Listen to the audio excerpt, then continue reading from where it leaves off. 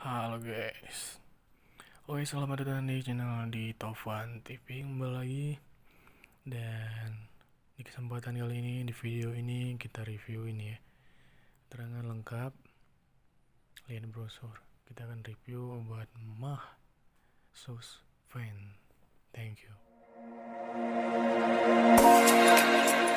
Jadi ini Mah Sus Fan ini adalah obat mah ya atau lambung ya kan? Dari gambarnya. Jadi udah ada gambar lambung ya ini sekitar ini area ini.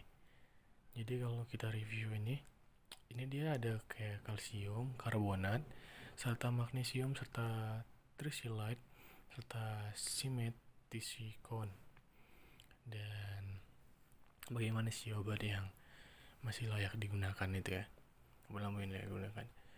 Yang pertama itu kalian pastikan dulu ini date-nya atau tanggal berakhir masa kadaluarsanya.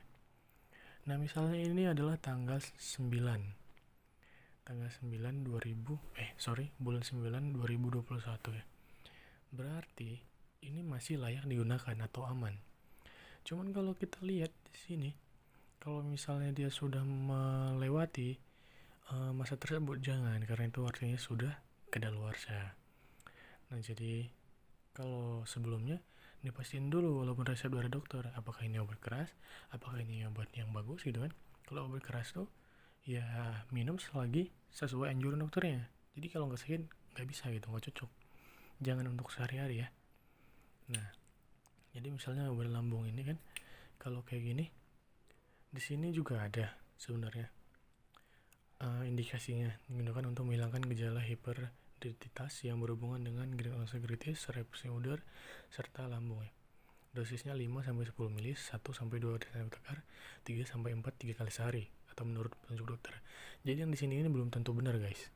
Yang di sini ini belum tentu benar. Jadi yang benar itu yang mana?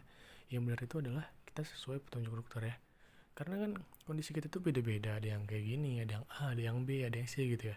Jadi sesuai petunjuk dokter jangan terlalu berpatokan sama yang ini. Karena ini bisa aja berbeda gitu kan.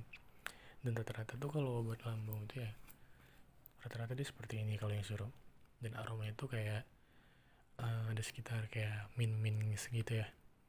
Nah gitu teman-teman. Intinya yang pertama poinnya di sini kita rangkum pastikan tanggal kadaluarsanya dan yang kedua itu pastikan BPOM-nya dan yang ketiga itu pastikan aturan sesuai petunjuk dokternya jangan asal-asalan ya. Biar aman oke? Okay? thank you mungkin semoga ini saja dan semoga bermanfaat. Salam dari kita di Topan TV uh, eh, dukung terus channel ini dengan cara like, komen, serta subscribe serta share juga. Dan salam dari kita di Topan TV see you next time